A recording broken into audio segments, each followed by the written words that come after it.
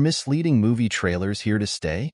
Ana de Armas fans Peter Rosza and Conor Woulfe have reportedly settled their lawsuit against Universal for advertising the Knives Out star's cut appearance in the film yesterday, according to Variety.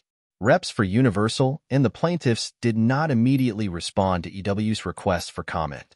Rosza and Woulfe first sued the studio in 2022 for including footage of De Armas in the trailers for the 2019 rom-com, out of which the No Time to Die actress was ultimately cut. The plaintiffs claimed that they only paid the $3.99 rental fee because they expected to see De Armas in the movie and would not have spent their money on the film otherwise. A California judge initially ruled in favor of the plaintiffs, finding that movie trailers should not be exempt from false advertising laws.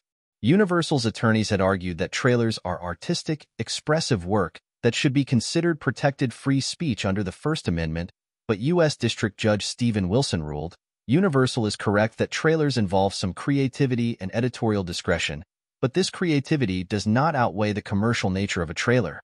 At its core, a trailer is an advertisement designed to sell a movie by providing consumers with a preview of the movie.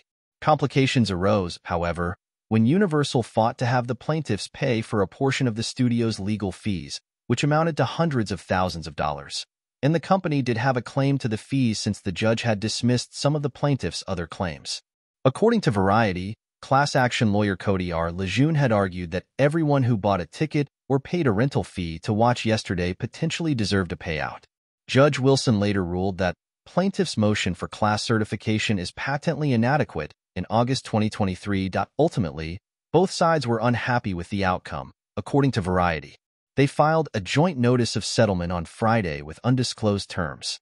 Yesterday follows a struggling singer-songwriter, Himesh Patel, who wakes up one day to discover that he's the only person in the world with any memory of the Beatles' music.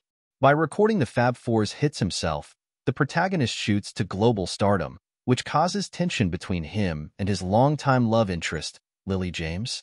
Writer Richard Curtis told Cinema Blend that De Armas had filmed scenes playing an alternative love interest for the main character. I think the audience did not like the fact that his eyes even strayed, he said. You know, it's one of those things where it's some of our favorite scenes from the film, but we had to cut them for the sake of the whole.